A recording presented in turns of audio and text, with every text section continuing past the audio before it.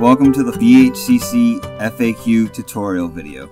In this tutorial, we will be showing you how to copy files saved on your desktop to a safe and secure location on the BHCC network. The network location we are talking about is your H drive. Your H drive is a secure location that only you have access to.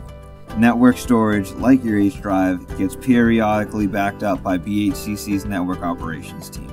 This means that your H drive is the best place to save your files. Leaving files on your desktop could lead to the loss of your files if the PC crashes or dies. The first thing you will want to do is open a window that displays your H drive. On your taskbar, you will see the icon of a folder. This icon is Windows Explorer. Click on Windows Explorer. In Windows Explorer, click on Computer, located in the left pane.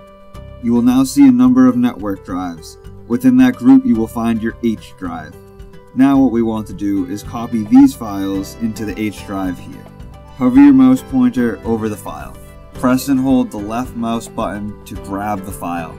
Without letting go of the mouse button, drag the file over to the H drive. You will notice a tooltip that confirms you are copying it to the H drive. Let go of the mouse button. That file has now been copied. Sometimes Windows will notify you that the file you wish to move is already located in the destination folder or drive. Look at the modified dates on both files and that will help you decide the appropriate action. Copying folders works in the exact same way. Press and hold the left mouse button to grab the folder. Without letting go of the mouse button, drag the folder over to the H drive. You will notice a tooltip that confirms you are copying to the H drive. Let go of the mouse button. A dialog box may appear like this one.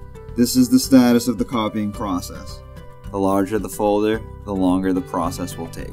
If these steps don't work for you or you are having difficulties, please call us at the help desk at extension 2326 and we'll be happy to assist. Thank you for watching and have a great day.